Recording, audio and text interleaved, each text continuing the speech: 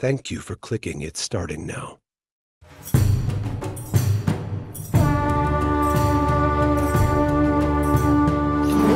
Trung Trac and her sister Trung Nhi led a multi ethnic coalition against the Han Dynasty, resisting the political and cultural assimilation of Vietnam.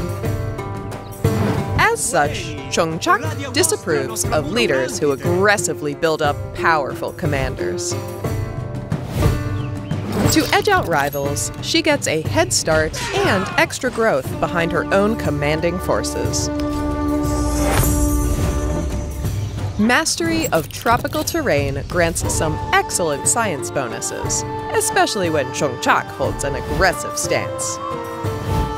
So be sure to take advantage of the jungle's bountiful resources when establishing your empire.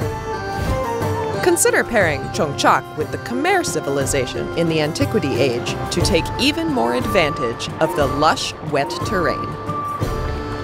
Or choose a different path all your own. But whatever you build, remember to build something you believe in.